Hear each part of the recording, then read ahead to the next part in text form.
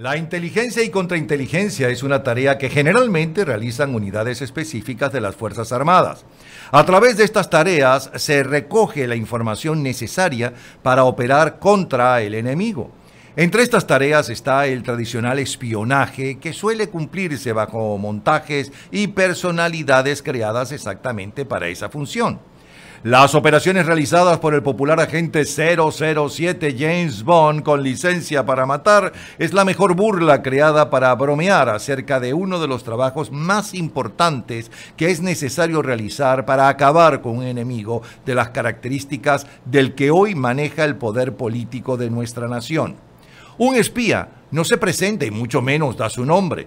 Un buen espía tiene que aparentar ser exactamente lo que no es. ¿Qué podemos hacer ante un enemigo que tiene 18 años en el poder? Ha manejado millones de dólares para afincar su fuerza y no creen en las leyes ni en las instituciones. Trabajar en la inteligencia y la contrainteligencia y meterle creatividad a la tarea. Ellos tienen las armas y aún así se mueven, planifican y están rastreando cómo destruir nuestros esfuerzos, nuestras estructuras y sobre todo nuestra moral y fortaleza como ciudadanos. Tienen décadas en esa tarea y cierto, se han mantenido en el poder, pero no han podido destruir la fuerza moral de la población.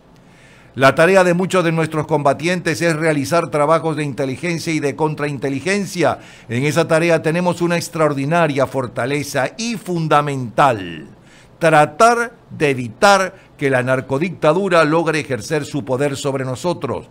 No permitamos que a través de intrigas y desinformación logren dividirnos, bajar nuestra moral y penetrar nuestra organización. La contrainteligencia tiene por finalidad negar información propia al enemigo y coayudar a la seguridad de las fuerzas propias. El proceso de contrainteligencia incluye todas aquellas actividades de carácter general encaminadas a estudiar las posibilidades del enemigo en los campos de la actividad informativa, sabotaje y subversión, dictar planes para eliminar o neutralizar dichas posibilidades, dar instrucciones para ejecutar las medidas de contrainteligencia pertinentes y vigilar su cumplimiento. ¿Qué podemos hacer nosotros los civiles conjuntamente con nuestros aliados militares? Manejemos las informaciones y nuestro equipo militar con especial seguridad. Compartamos información con quienes necesariamente deben conocerlas y solo con ellos.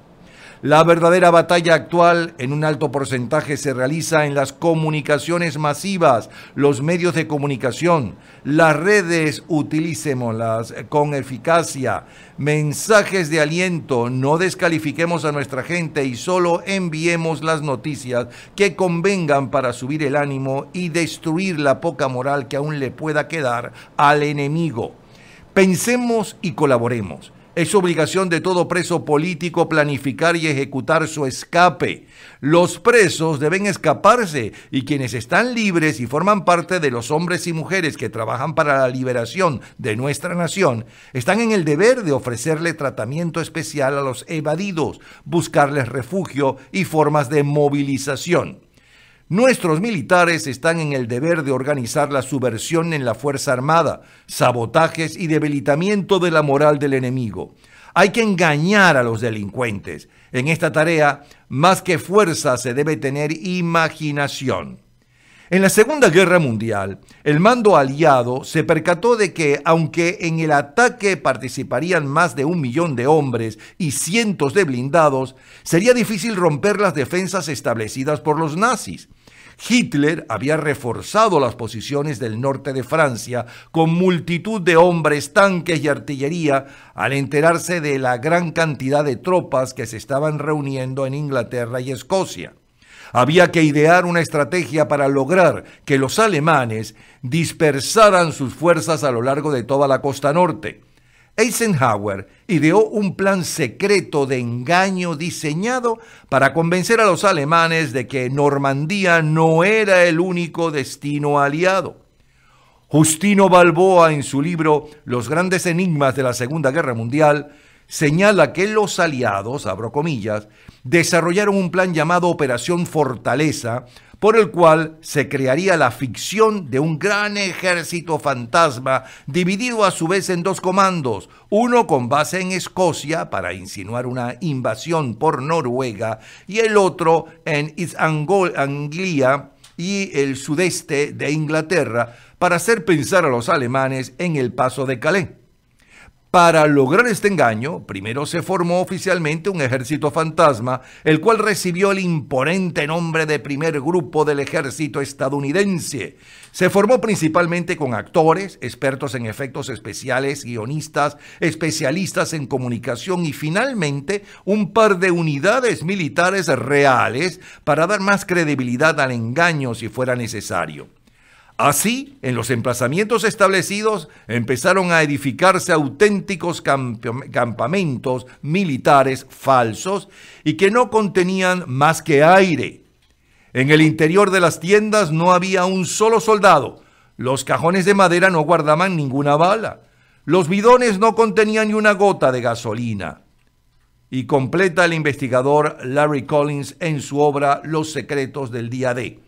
Las autoridades militares encargaron la construcción de réplicas de tanques Sherman exactamente iguales a los reales y piezas de artillería de campaña. Se hicieron de caucho para ahorrar tiempo y dinero.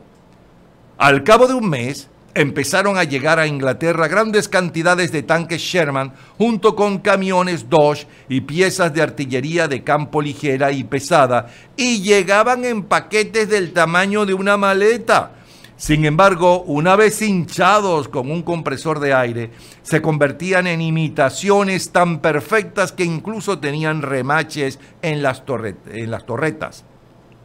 Cierro comillas.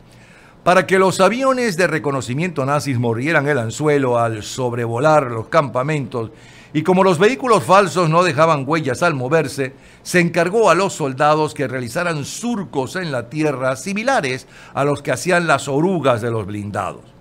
Muchos sacerdotes locales de East Anglia escribieron a los periódicos locales quejándose del mal comportamiento de las tropas extranjeras el Departamento de Heráldica del Ejército estadounidense diseñó y fabricó todo tipo de insignias y distintivos de hombro de las eh, divisiones fantasma para que los soldados de permiso los lucieran bien visibles, añade en su texto Balboa. Se encargó a un grupo del Cuerpo de Señales del Ejército que emitiera por radio todo tipo de mensajes codificados y sin codificar, simulando desde órdenes a falsas notificaciones que informaban de la llegada de unidades extranjeras. Además, y como completa el autor, los campamentos fantasmas recibieron también la visita del rey Jorge VI y del alcalde de Dover. El engaño funcionó y los alemanes dispararon contra la flota ficticia. El cuento es mucho más largo, pero lo que nos interesa es pensar, ¿qué podemos inventar para destruir a un enemigo que está mejor armado que nosotros, pero que no tiene la fuerza moral y la dignidad de nuestros muchachos? Saludos, les habla Napoleón Bravo para invitarles a que nos sintonicen a través de aevestereo.com todos los días de lunes a viernes a las 8 de la mañana en 24 horas radio. También todos los días, cuatro veces al día, de lunes a viernes, en tal día como hoy, en diferentes horarios, en la mañana y en la tarde. Y los fines de semana, sábado y domingo, desde las 3 de la tarde y hasta las 6, en nuestro programa de todos los años. Gente en ambiente, lo mejor de nuestra vida. AMEstereo.com